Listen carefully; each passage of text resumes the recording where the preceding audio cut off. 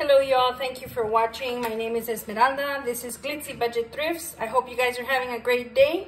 I am bringing to you today a very short uh, instructional video on how to make pico de gallo with cucumbers instead of serrano peppers or jalapeno peppers.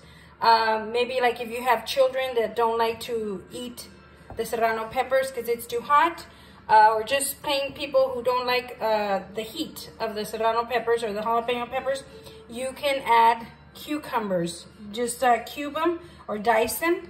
And these are all the ingredients that you're gonna need. It's your onions, which I've already taken the liberty of chopping them up before the video. It's onions, cilantro, cucumbers, and your tomato. And we're going to be using, I'm going to be using lemon juice. You can also use lime juice. And this is the one from Dollar Tree. It's very good. I've already used it several times and I did like it.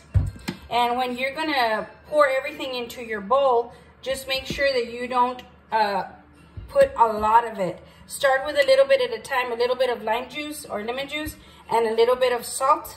Like that, uh, you can control it by adding a little bit at a time.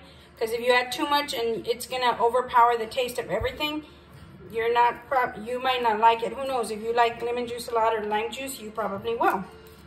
But let's go ahead and get started. I'm just gonna pour all of my ingredients in a small bowl. And that's, it's real easy. You just chop up, you control how much uh, tomatoes, how many tomatoes you wanna uh, dice, how many cucumbers. I mean, if you want a whole cucumber, half a cucumber, that's totally up to you. How many onions, cilantro. There's no, uh, there's no wrongs. Anything is right. You control whatever, you, how much you want to put in here. But uh, that's the that's the beauty of this. There's no uh, recipe. You just combine everything together. And these are my my plates that were featured also on my uh, Dollar my last Dollar Tree haul, which I did love. And here is uh, everything together. Now I'm just going to add a little bit of the lemon juice.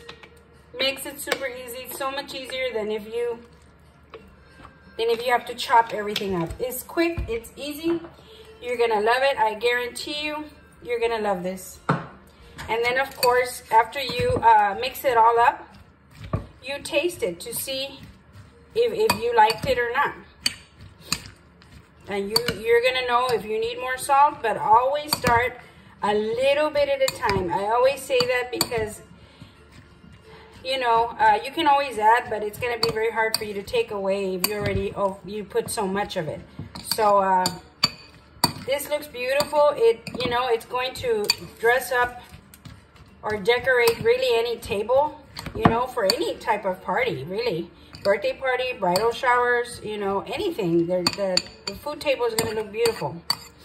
So, this with tostada chips is going to be really, really good. And let me just taste a little bit of it. I'll tell you.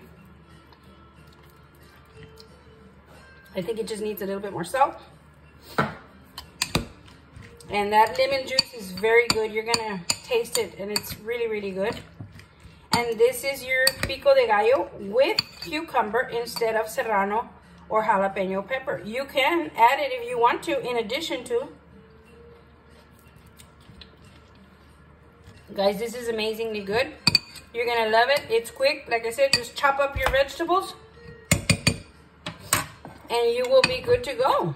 Thank you guys for watching and I hope you enjoy this video. I hope it, uh, it helps you in any way. Thank you so much for watching. We'll see you next time. Bye.